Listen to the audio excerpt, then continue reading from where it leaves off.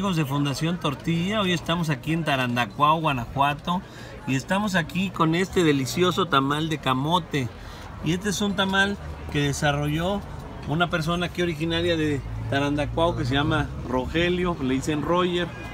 ¿Qué tal Roger? Buenas tardes. ¿Qué tal? Buenas tardes, bienvenido a Taranda y bienvenido al evento.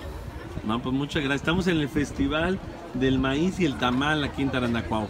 Oye, cuéntanos Roger sobre este tamal, ¿de dónde surgió la idea de hacer este tamal? ¿Es un tamal tradicional o es un tamal que tú creaste? ¿Qué es, qué es este tamal?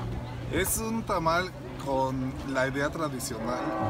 este, estamos promoviendo al municipio, estamos este, yo quiero que mi municipio tenga una identidad propia. Tenemos los recursos este, naturales, tenemos las cosechas, y tenemos la capacidad, tenemos un buen paladar, somos bien jovelones en este municipio. Entonces, fue una idea, es una idea propia. Este, pensando y conociendo mi paladar, dije, ¿qué tal suena un, un tamal este, de sabor naranja con camote adentro. Cada cosa lleva su proceso. Eh, para llegar a este proceso yo selecciono la, mazorca, selecciono el grano que no sea este de estos que ahora les llaman este de los híbridos, ¿no? Los sí, de los híbridos que tienen o 3, 6, 4, 5 meses este, que, te, que te salen, ¿no? Estos son maíces criollos. Maíces criollos, de herencia de nuestros antepasados. Así es. Oye, y el camote me decías, porque esta es una región aquí en Guanajuato que se siembra mucho camote. ¿Qué tipo de camote es el que se siembra aquí?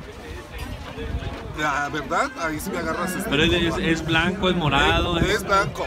Es camote blanco, ¿no? Sí, que por ahí te puede salir un morado o un amarillo, de hecho. a veces salen de color, tiene diversidad. Sí, así, así es. También ese lo podemos utilizar para hacer guayabate, dulce de guayaba con camote. Está riquísimo. Pero decías que tu papá era productor de camote, ¿no? y entonces, ahora pues con este tamal de camote con con maíz, pues tenemos aquí los productos tradicionales de Tarandacuao, ¿no? Así es. Vamos a crear una, un platillo de identidad este, tradicional de aquí de la región, originario de aquí.